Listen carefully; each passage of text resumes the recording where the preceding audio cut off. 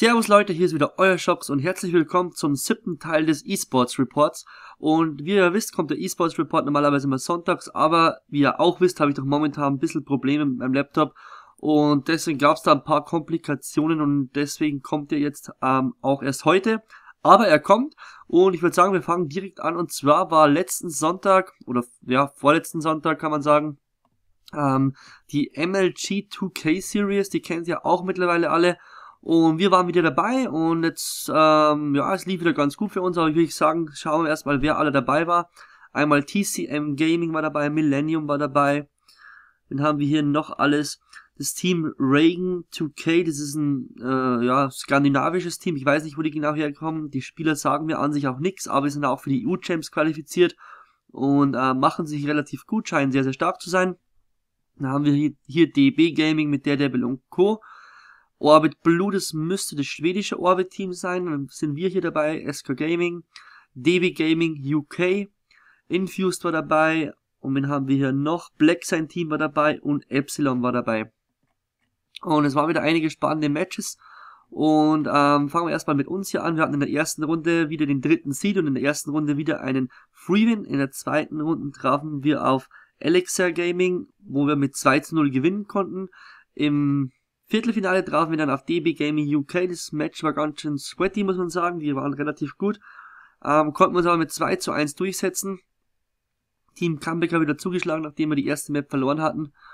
Und dann ging es weiter. Schau, haben wir, sind wir wieder mal auf Epsilon getroffen, die den zweiten Seed haben, die sich vorher ähm, gegen Infused hier im Viertelfinale durchgesetzt haben. Und da mussten wir uns mit 13-0 geschlagen geben. 13-0 hört sich wieder viel an, war aber von den Maps her wieder relativ knapp. Und auf der anderen Turnierbaumseite TCM wieder mit dem ersten Seed. Ähm, ja, hatte eigentlich einen relativ easy Run. Ähm, und sind dann auch bis ins Finale gekommen. Orbit ist hier, ich weiß gar nicht, wer ist hier Team May. Muss ich direkt selbst mal gucken, wenn man das noch sieht. Ach, das war das Ex-Orbit-Team, genau, dazu kommen wir auch später noch. Das ist Orbit, oder das Ex-Orbit-Team jetzt. Ähm, die hatten hier bis zum, sagen wir mal so, bis zum ja, Halbfinale einen relativ easy Run äh, mussten sich dann hier gegen, äh, konnten sich hier gegen Orbit mit 3 zu 2 knapp durchsetzen und mussten sich dann im Finale gegen Epsilon mit 3 zu 1 geschlagen geben. Und somit hat dann Epsilon, ich glaube, schon zum fünften Mal in Folge die 2K Series gewonnen und hat auch TCM Gaming mit den Pro Points überholt. Also war letzten Sonntag ähm, Epsilon mit dem ersten Seed und TCM mit dem zweiten Seed. Dazu kommen wir aber später noch zur letzten 2K Series. Dann macht man weiter mit den Call of Duty European Championship Ergebnissen. Ich würde sagen, fangen wir erstmal bei den Franzosen an. Ähm, ähm, ähm. Und zwar, äh, wo ging es weiter? Es ging hier weiter. Genau, hier ging es weiter. Hier hat Vitality. Das war ein sehr, sehr spannendes Match. Genau, da hat Vitality Rises gegen Vitality Returns gespielt. Und es war wirklich ein mega, mega knappes Match, wo Vitality Rises, also Gotagas Team, ähm, das, das, das, das A-Team von Vitality mit 3 zu 2 gewinnen konnte. Und ansonsten Millennium hat noch mit 3 zu 1 gewonnen. Und ähm, später dann hat Vitality Rises mit 3 zu 0 gegen BTX gewonnen. Vitality Returns mit 3 zu 1 gegen AYC ähm, gewonnen. Und Millennium hat auch 3 zu 0 gewonnen. Und ähm, gucken wir mal kurz auf die Tabelle von den Franzosen. Genau, und so wie man hier sehen kann, Vitality Rises auch noch umgeschlagen hat. Ähm, kein Match verloren. Vitality Returns hat erst eins verloren gegen Rise. Die zwei sind relativ sicher weiter. Millennium. Millennium kann auch nicht mehr allzu viel passieren. Ne, Millennium dürfte sicher weiter sein. Und ähm, also die drei Teams, die wo man eigentlich auch erwartet hat, sind hier schon sicher weiter. Der Rest entscheidet sich dann noch am Mittwoch. Dann gucken wir hier auf die deutsche Tabelle, wer hier alles so gespielt hat. Und zwar muss ich gucken, wo sind wir bei der Vierer. Und zwar haben wir SK Gaming gegen Killerfish gespielt. Ja, Killerfish wundern sich einige. Killerfish war doch eigentlich gar nicht dabei. Ähm, das ist jetzt das Ex-Uprising-Team, dazu komme ich aber auch später. Dann ROA hat einen Deathfall bek äh, bekommen gegen Team Choke. N7 hat äh, mit 3 zu 0 gegen Captain Cola gewonnen und NXG hat ein Comeback kassiert gegen Fade Esports. Die waren schon 2-0 vorne, ähm, haben den Blitz verloren, Domo verloren, S&D verloren und haben somit 3 zu 2 verloren. Dann ging es weiter, wir haben einen Defrim gegen Choke bekommen. XUP, also jetzt KF, hat gegen äh, N7 mit 3 zu 1 gewonnen. ROA hat ähm, verloren mit 0 zu 3 gegen Fab und NXG hat einen Death-Win bekommen gegen Choke und hat auch einen 13-0-Win bekommen. Und somit geht's morgen weiter. Wir spielen gegen N7. Fab bekommt einen Death-Win gegen Choke. KF spielt gegen NXG, ROA gegen Captain Cola. Und dann spielen wir äh, später am Abend noch gegen Fabe, NX, äh, NXG gegen N7. Captain Cola bekommt ein Death Win gegen Choke und KF spielt gegen ROA. Also wie ihr seht, SK N7 wird nochmal ein sehr, sehr spannendes Match. KF NXG wird auch ein sehr, sehr spannendes Match noch. SK Faye wird auch ein spannendes Match und N7 NXG wird auch ein spannendes Map Match. Und gucken wir uns kurz die Tabelle an. Wird auf jeden Fall auch wieder sehr, sehr spannend. Und zwar, wir sind ja sicher weiter, wie ihr bereits wisst. Wir sind hier ähm, fünf Spiele, ähm, 15 Punkte und haben noch keine Map abgegeben. KF, also X Uprising, ist auch sicher weiter mit ihren 12 Punkten, aber N7, NXG und Fate, bei den drei ist noch alles offen und es wird sich alles morgen Abend entscheiden. Also Leute, da könnt ihr auch auf was gefasst machen. Ähm, da kann sich noch einiges tun, da bin ich selber auch wirklich sehr, sehr gespannt. Wir haben die Streams auch, wenn es mir zeitlich möglich ist, reinziehen.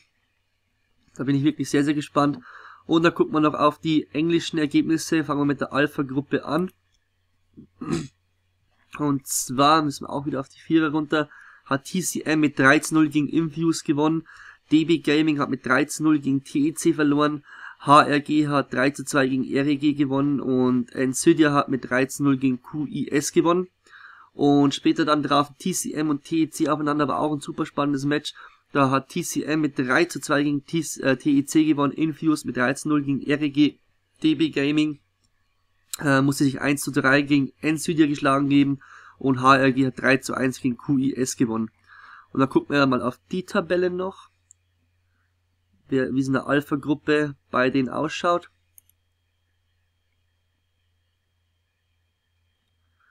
Hier ist Ncydia und TCM sind beide schon sicher qualifiziert, wie man sehen kann. TEC kann auch nicht mehr viel passieren, wenn ich das richtig sehe. Ähm, Infused und HRG und DB Gaming haben noch Chancen auf den vierten Platz. Also in der Gruppe, wenn ich mich nicht täusche, machen sich hier noch Infused, HRG und DB aus, wer nach London auf die Europameisterschaft geht. Dann gucken wir auf die Bravo-Tabelle. Bravo wer hier alles so gespielt hat und wie die Ergebnisse waren. Und zwar hat Epsilon mit 13-0 gegen Wongis Team gegen Leverage gewonnen. Team YouTube konnte mit 13-0 gegen DG gewinnen.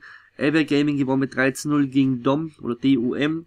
Und Orbit ähm, gewann mit, oder ja, X-Orbit auch, dazu kommen wir aber auch gleich. Ähm, Orbit gewann mit 13-0 gegen Team Rise. Und später am Abend konnte sich Epsilon auch mit 13-0 gegen DG durchsetzen. Leverage verlor 3 zu 1 gegen Evergaming. Team YouTube gewann 3 zu 1 gegen Orbit. Und das wäre auch der Grund, aber dazu kommen wir später. Also merkt euch mal hier dieses Ergebnis 3 zu 1. Ähm, Orbit versus Team YouTube gewinnt 3 zu 1 gegen Orbit, so muss ich sagen. Und ähm, Rise gewinnt mit 3 zu 0 gegen DOM. Dann gucken wir noch kurz auf die Tabelle, bevor ich zu dem komme, warum ich äh, meinte, ihr solltet, ihr solltet euch das Ergebnis merken. Gucken wir noch kurz auf die Tabelle. Na komm schon. Ähm, Epsilon auch, wie wir, ganz klar. Äh, erster ist auch sicher schon weiter. Evergaming ist schon sicher in London. Team YouTube. Äh, bei Team YouTube, Leverage und Orbit kann noch einiges passieren bei den drei. Da entscheidet sich's auch heute Abend. Und er hat sich, ja heute Abend, ich sage immer heute Abend, weil ich Montag äh, recorde.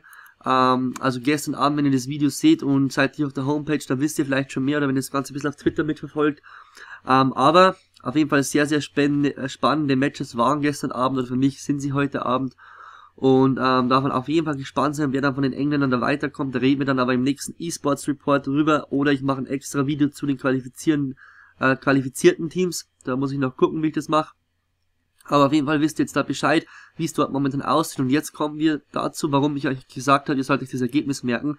Und zwar hat Team Orbit ähm, ihr Team gedroppt. Das Team mit Jake, mit Vintage, LXT und so weiter wurde gedroppt. Und zwar aus dem Grund, da sie mit 3 zu 1 gegen Team YouTube verloren haben und haben dann auf Twitter einfach rumgehatet und wie die Tweets genau aussahen. Ich glaube, sie sind auch schon gelöscht weiß ich jetzt nicht, ich habe die selber nicht live mitbekommen, aber auf jeden Fall habe ich halt mitbekommen, dass sie ziemlich am Rumflamen waren gegen Team YouTube und ja, jede professionelle Organisation, die, die muss darauf reagieren. Das wäre das gleiche, wenn wir jetzt ähm, irgendwie, keine Ahnung, wenn wir gegen N7 verlieren, die beleidigen würden oder da großartig rumfleimen würden, würden wir genauso aus SK rausfliegen. Das gehört sich nicht und wirklich Respekt an Team Orbit, dass die das so durchziehen, dass die da hier ihre Professionalität bewahren und ähm, die haben sich jetzt hier von dem Team getrennt. Ähm, somit hat Orbit momentan nur noch ein schwedisches Team. Äh, Orbit ist auch eine schwedische Organisation.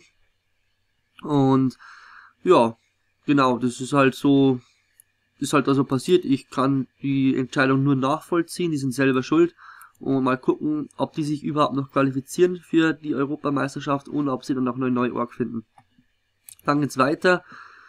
Dann hier Team Killerfish, die einige von euch sicherlich kennen.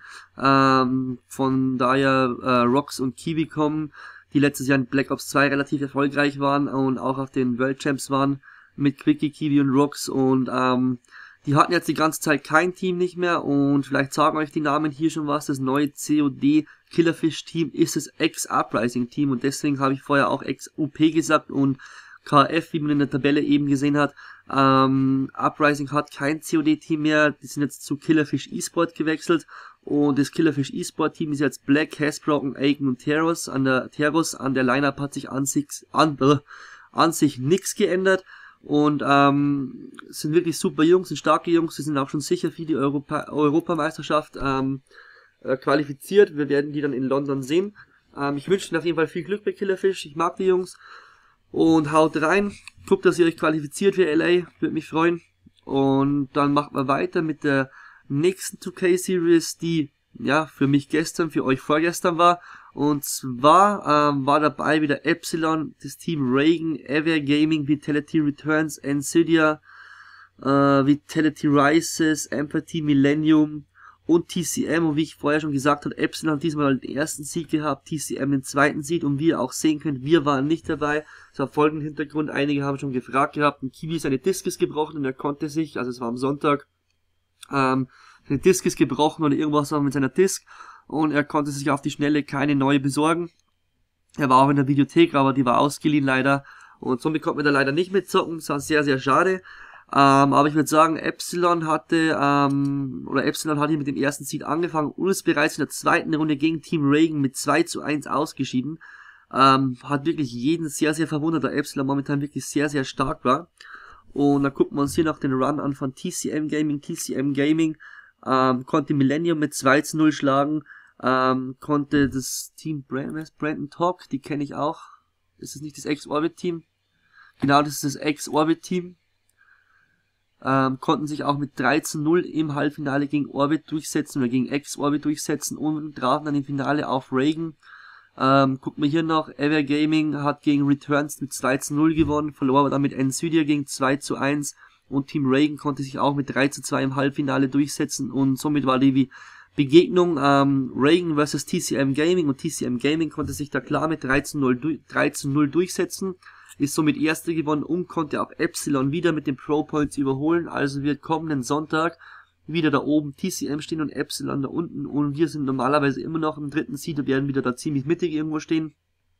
Ähm, TCM Gaming hat somit wieder 4800 Points bekommen, Epsilon hat gar nicht viel bekommen, Reagan hat 3200 Points bekommen. War auf jeden Fall wieder eine starke Besetzung. Schade, dass wir nicht dabei sein konnten, aber nächsten Sonntag sind wir natürlich definitiv wieder dabei. Und dann sind wir eigentlich schon fast durch mit dem heutigen eSports Report. Eine Sache noch. Ähm, für viele, das ist jetzt nicht direkt was, was mit was mit eSports Report zu tun hat, aber ähm, für die E-Sportler unter euch, viele haben das Problem bei der Xbox One, dass sie ihr Chatkabel von dem Headset nicht anstecken können. Da kommt jetzt am 13. März, glaube ich, Anfang März, 13. März kommt so ein Adapter raus, das sieht so aus. Da kann man dann auch sein Adapter, also sein Checkkabel da reinstecken und kann man dann auch ganz normal chatten. Man muss nicht mehr das Xbox Standard Headset aufsetzen oder über Kinect reden. Dann funktioniert das wieder alles ganz normal. Da kostet 22,99 auf Amazon. Habe ich geguckt, habe ich mir auch schon vorbestellt. Nur für die Leute, die es interessiert. Und mich interessiert natürlich auch eure Meinung was sagt ihr zu dem Wechsel von dem Uprising-Team zu Killerfish und was sagt ihr dazu oder was ist eure Meinung äh, dazu, dass Orbit ihr Team gedroppt hat? Ähm, wie findet ihr das? Und auch zu allen anderen Sachen, lasst mir eure Meinung da, schreibt es unten in die Comments. Wenn ihr Fragen habt, schreibt mir das auch mit unten in die Comments rein. Ich versuche natürlich so viele wie möglich zu beantworten. Wenn viele Fragen da sind, mache ich vielleicht auch ein extra Video dazu. Und ansonsten würde ich sagen, wenn euch der eSport Report wieder mal gefallen hat, lasst ein Like da, Bis zum nächsten Mal. Ciao, Servus, euer Shocks.